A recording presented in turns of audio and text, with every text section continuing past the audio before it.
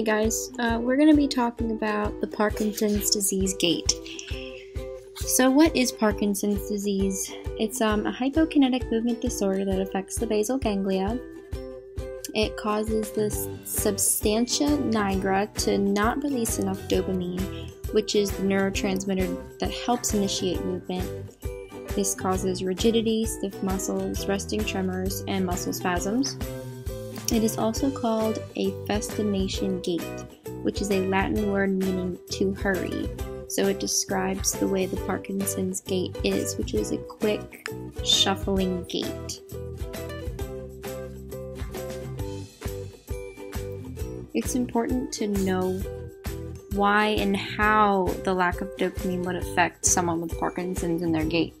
So, because dopamine is a neurotransmitter that helps initiate movement, um, patients who have Parkinson's have low amounts of dopamine generating cells because those cells have died. And unfortunately, we're not really sure why this happens. There's no conclusive evidence.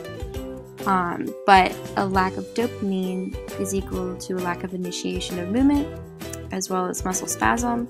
And that is why it's so difficult for people with Parkinson's to initiate their walking. Will their gait exactly look like? They will have a shuffling gait, um, so they have a decreased stride length, forward posture, increased cadence, increased double stance support duration, and interesting enough, they actually have a flat foot strike instead of a normal heel, heel strike like you and I have.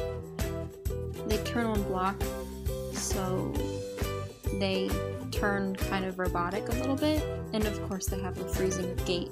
So they have trouble initiating gait, and then sometimes they have difficulty stopping their gait once they've started.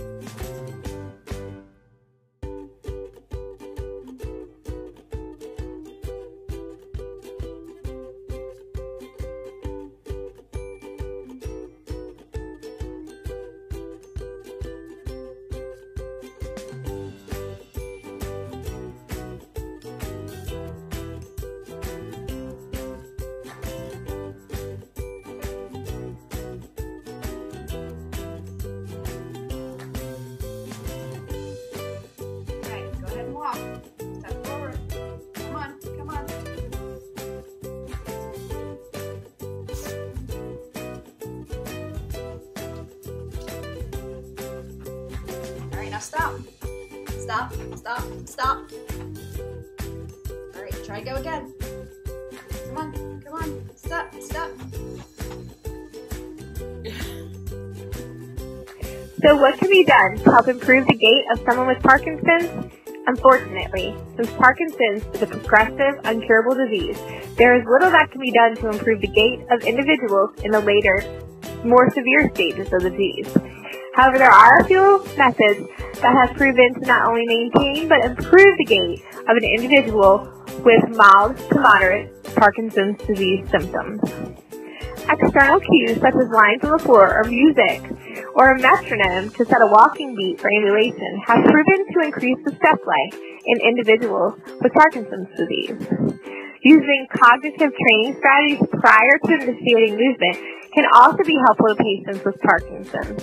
Techniques such as visualizing taking longer steps, visualizing walking, saying out loud long steps, or reading gait instructions off a cue card can help improve gait. It is also important to remember to do this prior to walking so the individual does not get distracted during ambulation, which could increase the risk for a fall. It may be helpful to start gait training by breaking the steps to walking down in segments. For example, a patient would just work on taking one step or just work on standing up and sitting down. There are many exercises one can do to help improve gait if they have Parkinson's. Flexibility exercises that focus on extension of the spine can help improve the forward flex posture that many people with Parkinson's experience. Flexibility exercises can also help increase balance and range of motion in the axial skeleton, which helps prevent falls.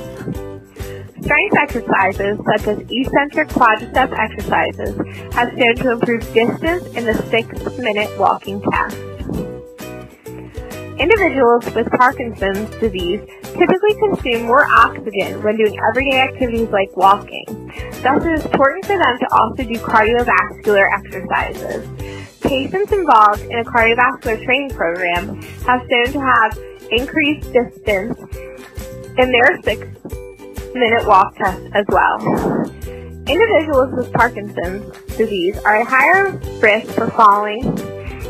The risk increases further if the individual tries to do another task while walking or is experiencing a freezing gait. Participation in recreational activities such as the Argentinian tango, American ballroom dancing, and Tai Chi has shown to improve balance in patients with Parkinson's disease.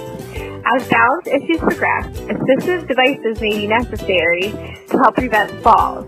Such assistive devices would be single point canes, a rolling walker, or even a walking stick.